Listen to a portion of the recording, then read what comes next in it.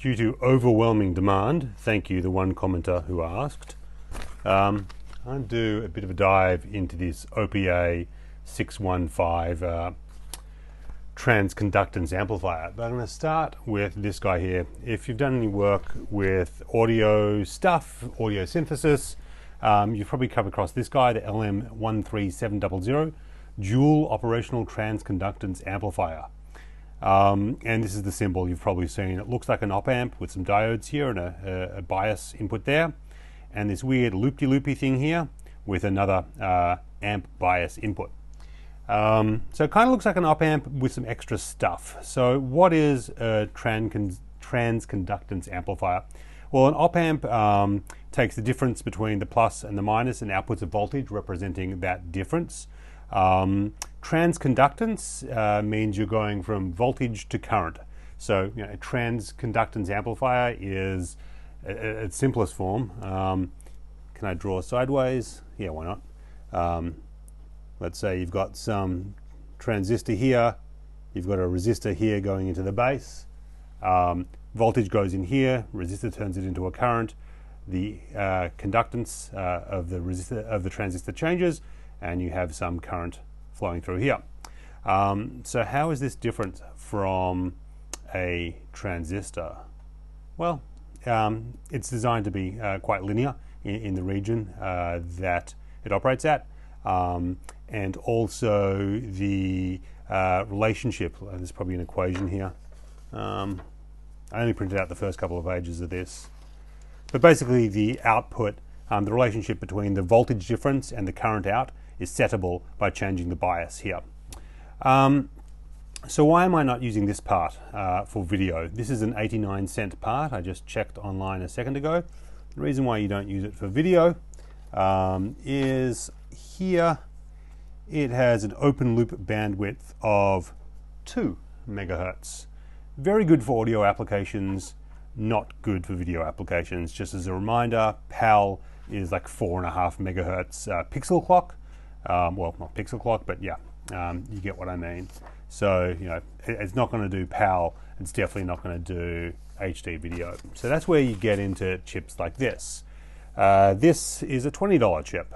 Um, we don't need the rest of these data sheets. We're just going to look at this one. So this is a, a dual operational transconductance amplifier. Um, so is that one. Uh, but it's, it's, designed for quite a different purpose, and you'll see the uh, sort of overview of, of, of um, the schematic of the pinout looks a little different. Um, let's look at the features. Very low propagation delay, under 2 nanoseconds. Bandwidth, 710 megahertz for the OTA, 730 megahertz for the comparator. Um, yeah, so this is a, a high speed, high bandwidth chip. Um, what you see in the block diagram is you see an SOTA, they call this their sampling operational transconductance amplifier, and then uh, an OTA here, which is the operational transconductance amplifier. Um, and it looks sort of like a transistor symbol, but rather than just having an arrow going in, in or an arrow going out, as you'd have for NPN or PNP, it's got arrows going both ways. Um, what this part here corresponds to is this part here. Um, and they call it base collector and emitter as if it is a transistor. Um, but it's basically a, an operational transconductance amplifier because you put a base current in here and then a current will flow between the emitter and collector.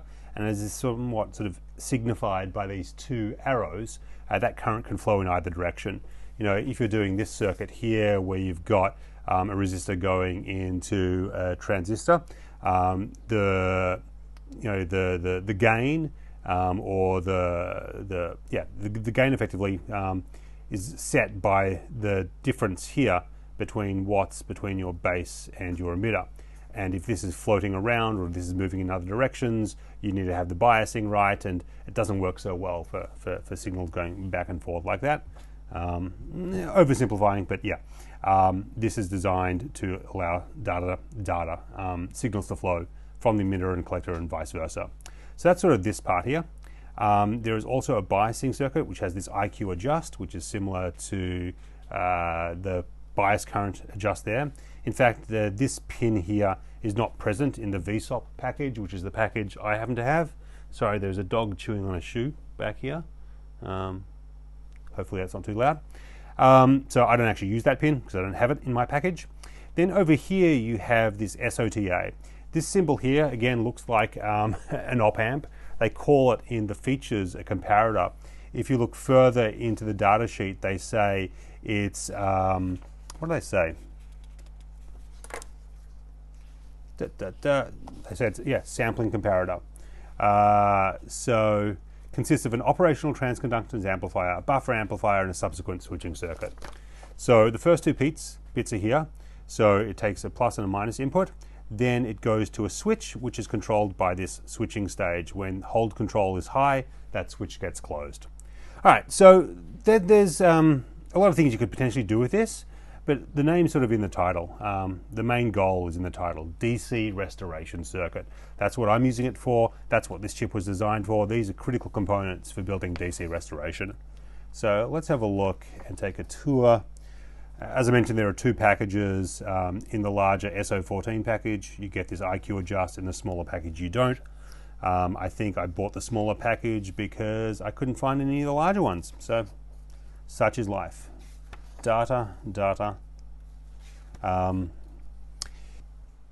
all right, Shoe has been rescued from puppy. Um, yeah, lots of interesting diagrams here. Um, I don't know if I'm going to go through any of these because I'm trying to keep this to be a quick video. Um, let's start looking at some of the circuits.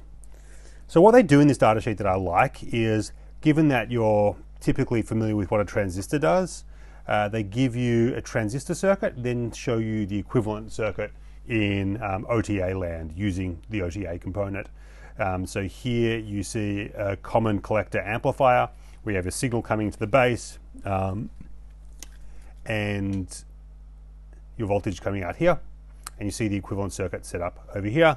And they give you the equation for gain, um, common base amplifier. Did I skip a page? I think they have the third one. Yeah, common emitter amplifier. Like this is um, what you'll typically see.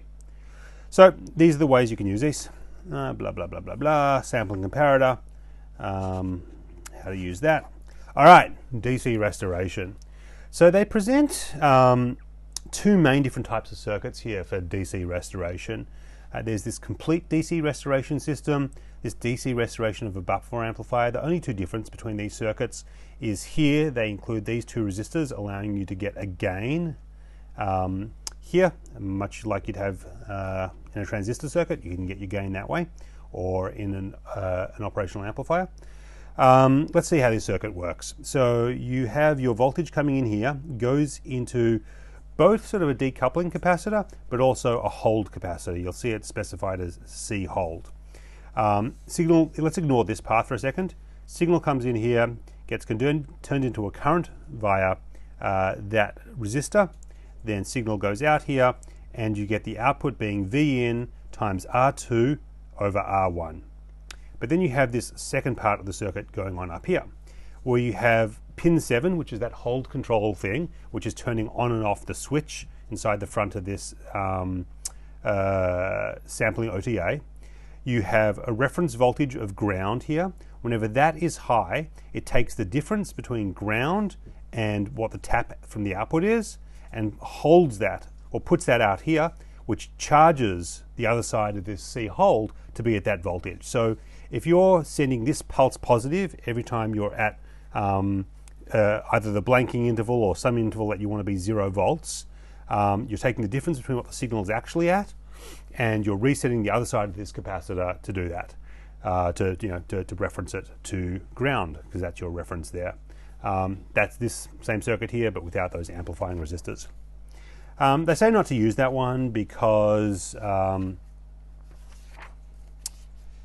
uh, for either of these circuits to operate properly, the source impedance needs to be low, such as the one provided by the output of a closed loop amplifier, um, which would probably be fine for what I'm doing. Um, but the second circuit here, uh, the clamped RF video amplifier, um, has the same two components from the OTA, um, from the OPA 615, but set up in a different configuration, but it includes another op amp. This is not inside the package of the chip that you get. And in my circuit, I'm not actually using this OPA 6556. I'm using the AD8037, um, but you should also look at the 8036. I'll get to why in a second. Um, let's have a look through how this circuit works. So here we have, um, just looking at the op amp here, we have another uh, AC coupling uh, uh, capacitor and a resistor here. This forms a high pass filter that goes into the op amp. In the feedback path of the op amp, there's a 300 ohm resistor there and a 300 ohm resistor going to ground. So again, if we sort of draw a dotted line around here, all this bottom half of the circuit is is a voltage follower with a gain of two. Um, well, an amplifier with a gain of two and this high pass filter here.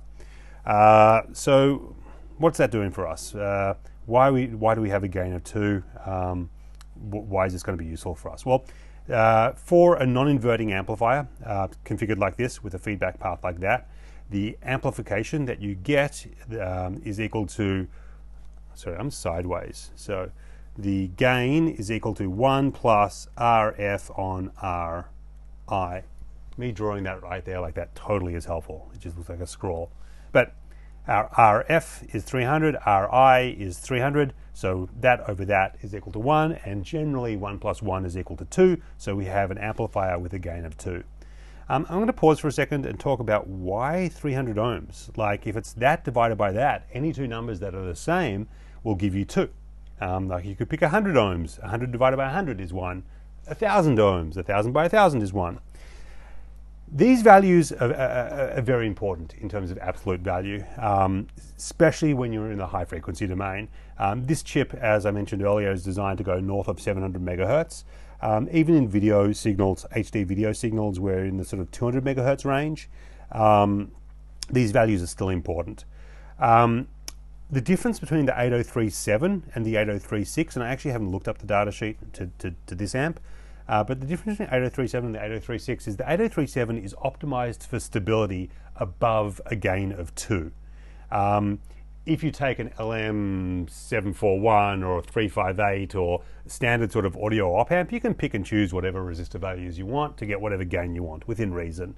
When you're in high frequency land, um, stability um, and stray capacitance and the capacitance between the leads coming off the package to the board, um, it, it all matters. And so there's you know, there's a capacitor effectively, parasitic capacitor here, there's a parasitic capacitor here, you have inductors, these, you know, your traces are all inductors, there's capacitance to ground, there's, you know, a whole bunch of stuff that you don't have to consider um, in low frequency design that you have to consider in high frequency design. And so the makers of these chips set up a target gain where they're stable. Um, and so for the 3.7, it's 2 or greater. And for the 6, it's 1. Um, and also, they specify in the data sheets uh, what resistors give you optimal compensation for these parasitic elements that are likely to be in your circuit. And so, actually, for the o, uh, AD8037, I think I'm using uh, not 300 ohms, but 274 ohms for you know a variety of other chips that I use that are sort of in this category of high-speed op amp. Um, I've used a variety of different things that are just recommended in the data sheet. So that's sort of just this boring part of the circuit. The interesting part of the circuit is all messy now, thanks to my scribbles. Um, but what we're doing back here is we're likewise taking a sample of the output, comparing it against. You could tie this to ground if you want to sort of bias or have your, you know, your hold be at ground, but it lets you set it whatever you want. So, sorry, loud dog again has found the other shoe. Um, so you can set whatever your voltage reference is, it'll take the difference of it whenever there's a high pulse on pin 7, and it'll use that to charge this hold capacitor here. That then feeds into this OTA, um, which is tied to ground here and allow current to flow in either direction um, back into this node point between these two 300 ohm resistors. What that's effectively doing is it's changing the offset point um, around which this is amplifying. If you tied, brought this all the way up to 1 volt, you'd have a 1 volt offset at the end. Tied this down to, well, it effectively is tied to zero here through this resistor. Um, that means it's reference to zero, but you can tie it up and tie it down by biasing that node um, in what effectively is a voltage divider in the feedback of the op amp circuit. Um, it's interesting though that they've specified these sort of 100 ohm values, but they have not specified what C hold is, they have not specified what that is, what that is, or RE. And that's where some trial and error came into it. Um, they talk about sort of the external capacitor C hold allows for a wide range of flexibility. One of the problems that you have when you're doing um, uh, you know this sort of clamping. Let's go back to finding a diagram of a video signal.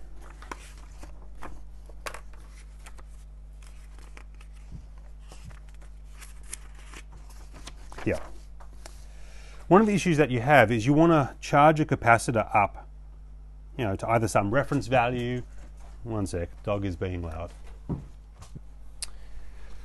What you want to do um, in the sort of, well, in the circuit here where you're charging up a capacitor, but you're effectively doing that here, you want this capacitor to charge up fast enough um, to hold the reference value that you want it to hold.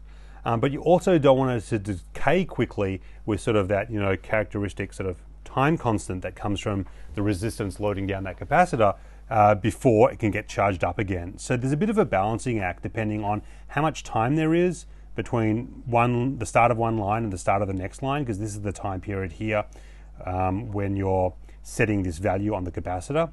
You want to sort of balance the drain from that capacitor with the time that it takes to charge so that there's enough time for it to charge during this period with enough current and the current drawdown during the horizontal line doesn't cause the voltage to droop significantly. Um, and I can't remember what value I ended up with. I think um, it was 0.1. Let me just check my circuit diagram. One sec. All right, so you'll see here in my schematic, hopefully it's not too glary, um, I didn't specify the values for C hold, CB, or RB, but you'll see, or RE, but my, I've got some notes here in blue. So I've actually gone with 560 puff uh, for this uh, uh, capacitor. Um, I've written a note here, need to test more values, like a pretty broad range that I want to sort of narrow in on. I think I was just grabbing whatever, you know, uh, 0805 capacitors I happen to have on hand.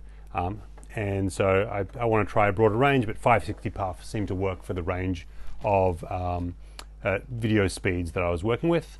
I've got 100 ohms here. Two question marks means I don't really know whether that's optimal, but it seemed to work. And likewise for this filter here, I've got one mic there, 220 ohms there, which gives you a minus, uh, 3D high pass filter at 732 hertz. So way, way, way down low end. Um, basically just you know trying to get rid of DC. Again, these values were determined by what I had on hand, um, and yeah, that's sort of the the basics behind how this circuit works. You can see in my diagram, a it's it's a lot messier. I have not reproduced that symbol very well, and here I've got the AD8037 um, with the V high and V low um, clipping coming in. Um, all the other stuff here is is pretty straightforward decoupling caps um, on these guys uh, and I've got the gain set for this. So here's my 274 ohm um, uh, resistor in the feedback path here. I've got a 1k pot on the low side. That's how you adjust gain. General tip don't put anything with long leads like potentiometers in the feedback path. Um, you want to keep this as close and tight on the PCB as possible um, so that this matching is matched with the characteristics of the PCB. So, you know, put that over here. Um, yeah, what else is there to say? Low value resistors are good generally in life, especially when you're dealing with high precision signals. You've got, uh, is it Johnson noise, Josephson noise? One of the two. Um, thermal noise from, from higher resistors, so lower resistor values are good. Um, but yeah, Hopefully this video is under half an hour long and is educational in some way. Sorry for not preparing a script. Sorry for the very cute puppy in the background. He's being noisy. Uh, but see you next time. Bye.